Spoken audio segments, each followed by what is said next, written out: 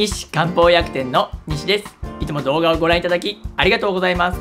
生薬のことが分かったらグッドボタンとチャンネル登録もよろしくお願いいたします。西漢方薬店ではオンラインでの漢方相談を行っております。漢方相談は無料で説明に納得していただいて漢方薬を購入する形をとっております。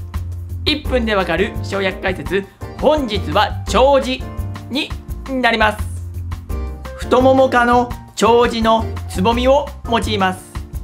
長寿という名はつぼみの形が釘に似ていることに由来し英語のクローブもフランス語で釘を意味しています。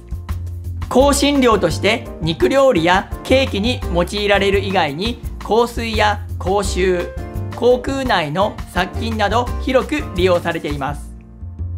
漢方の働きとしては胃の働きを助ける牽引作用。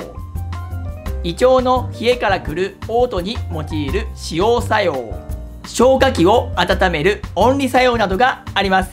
代表的な処方にしゃっくりに用いる長江指定糖打撲に用いる自打撲一方などがあります。是非覚えてみてください。それではまた。